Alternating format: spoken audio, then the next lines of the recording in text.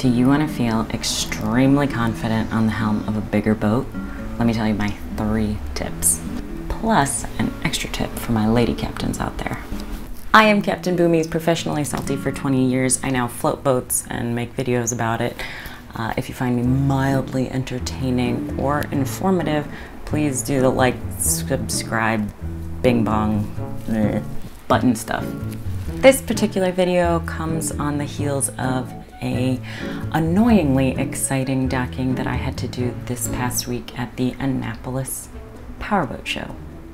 This is Ego Alley in Annapolis. It's named that because you have to have some pretty puffy gonads to take a boat down here and spin it around in front of all of downtown Annapolis while like a bunch of other boats are trying to do the same thing to show off. It can be very tight for a boat that is more than 30 feet and it gets even tighter during the boat show when they bring in extra floating docks.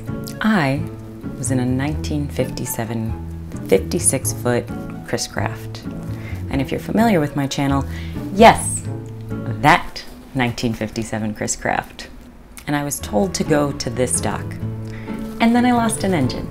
No, I didn't have a bow thruster. This was 1957. Meh. And the next morning, they asked me to move slips. And we hadn't fixed the engine yet. They need me to move slips with one engine, so I gotta go from here to over there. Uh, and I just lost a whole lot of space to maneuver. So, how was I able to do this and not freak out? Tip number one good crew. I had my husband with me, and we have excellent communication.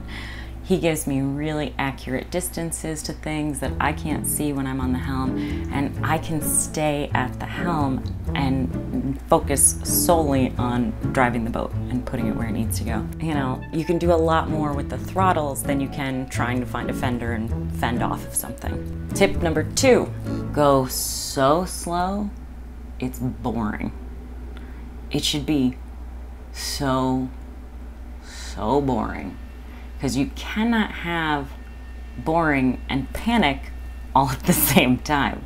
If the boat's still going in the direction you want it, even if it is really, really slow, just go with it. Let it happen. Get bored.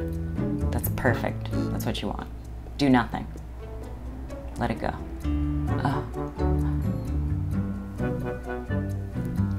The best part about that is if it's slow enough, it takes all the pressure off because even the people on shore get bored watching you inch along without doing anything. Tip number three, have towing insurance, something like Boat US. Hey Chesapeake region, please love me. They will bring you into your slip if your boat is disabled and losing an engine counts as being disabled. Unfortunately for me, I didn't have time for this option getting to the boat show. And now for my bonus tip for the ladies.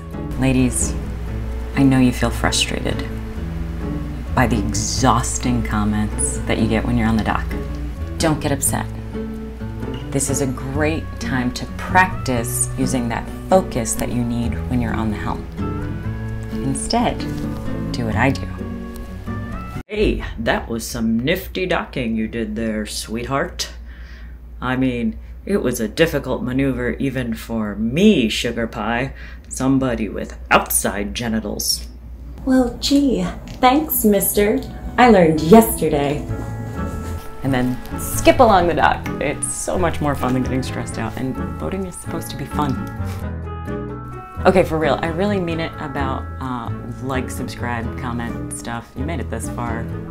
Do it. You can't hurt my feelings. I'm a woman captain. comment.